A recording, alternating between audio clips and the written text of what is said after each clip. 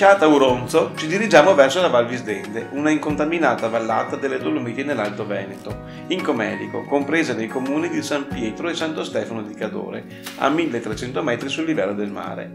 È una delle ultime oasi naturalistiche preservate dal turismo di massa, un luogo di indiscusso pregio naturalistico circondato da maestosi boschi di abeti rossi. La valle era chiusa fra il gruppo dei Longerin, il Monte Rinaldo e le creste di confine con l'Austria. L'unico accesso avviene attraverso una stretta gola, percorsa da una strada molto esposta agli eventi atmosferici e dalle piene del torrente Cordevole che vi scorre accanto. La rete delle mulattiere e dei sentieri che percorrono la Val Visdente danno la possibilità di ammirarla con passeggiate più o meno impegnative, sia estive che invernali, ed escursioni in mountain bike.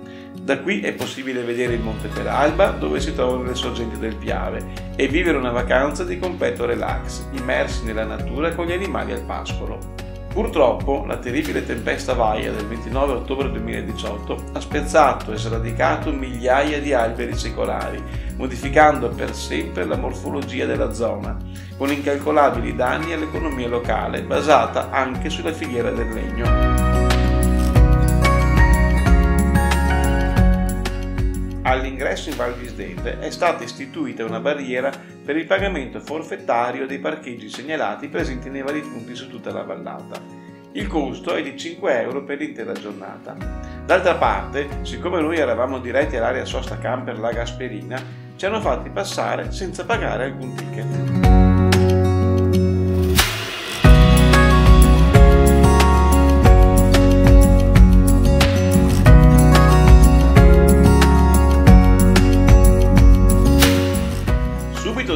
Dietro l'hotel ristorante Gasperina si trova l'accesso dell'omonima area attrezzata per camper.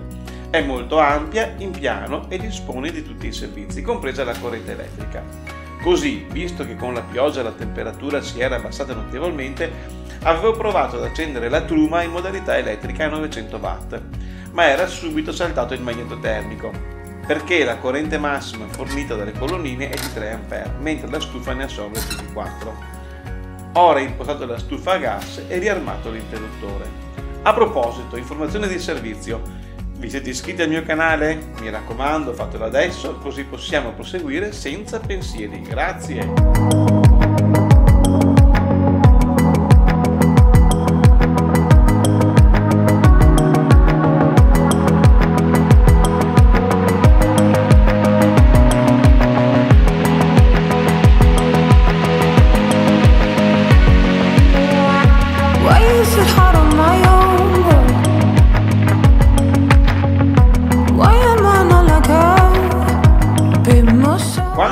Da sera, abbiamo deciso di andare a cena direttamente al ristorante Gasperina, dello stesso proprietario dell'area sosta, e che pratica lo sconto del 10% sul prezzo della cena ai camperisti che vi soggiornano. Il grappino alle erbe a fine cena è gentilmente offerto dalla casa.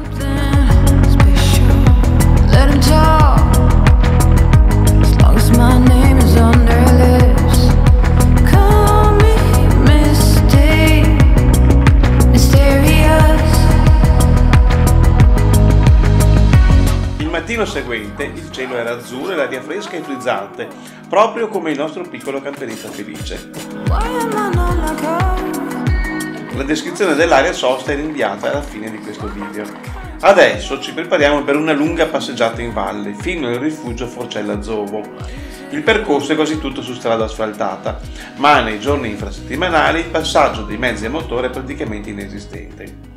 I panorami sono favolosi e così sarebbe stato anche tutto l'ambiente circostante, se la distruzione dei boschi causata nel 2018 dalla tempesta Vaia non fosse ancora così evidente. Qui ci rendiamo conto personalmente dell'inimmaginabile violenza con la quale la tempesta si è battuta sulla montagna. Veramente la vista di tanta distruzione ci ha impressionati moltissimo e quindi portate pazienza se insisterò a lungo con le riprese degli alberi spogliati e spezzati.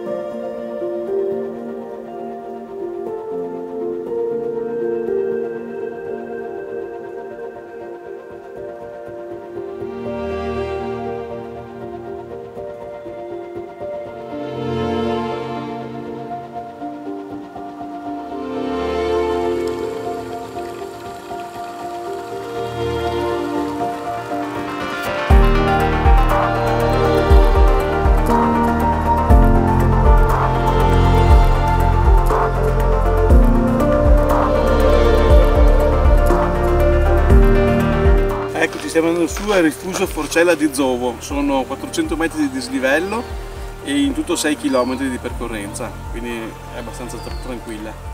Bene dai, ci vediamo su.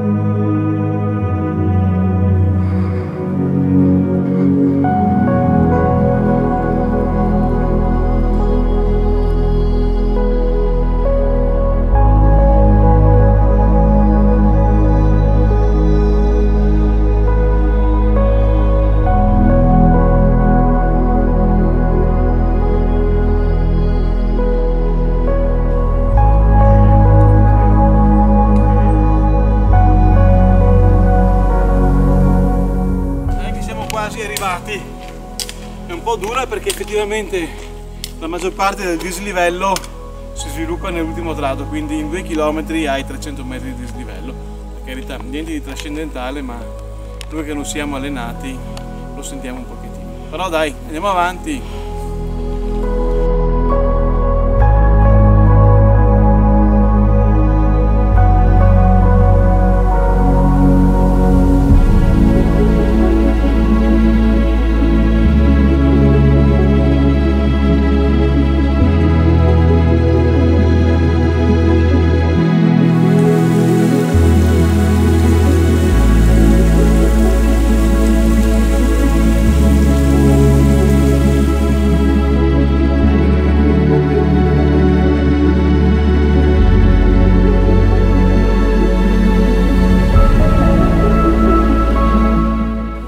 Eccoci, siamo arrivati.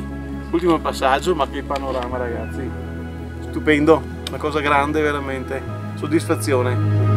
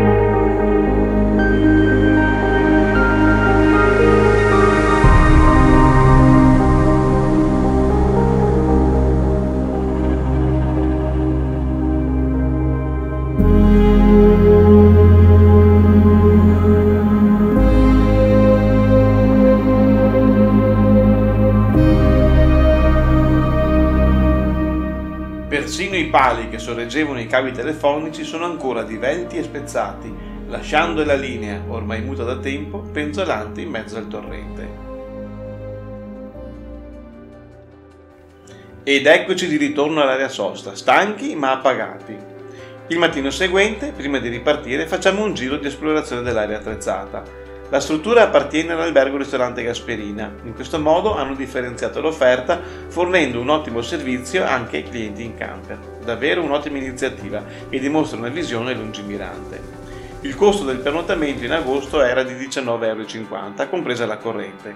Sono presenti bagni, docce calde al costo di 2 euro, lavelli per panni e stoviglie.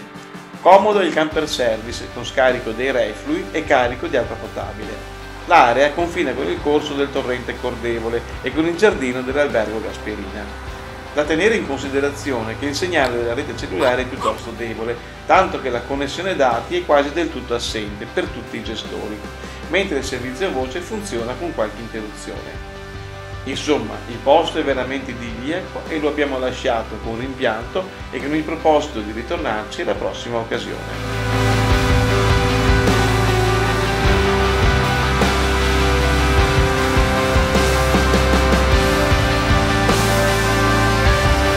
Ora scendiamo per raggiungere la prossima tappa del nostro viaggio. Mi raccomando, seguiteci ed iscrivetevi al canale per non perdere le prossime pubblicazioni. Ciao!